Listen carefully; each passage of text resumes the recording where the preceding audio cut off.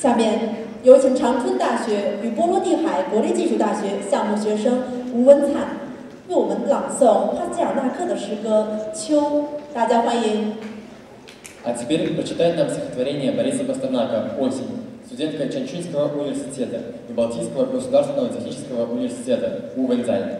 Пожалуйста.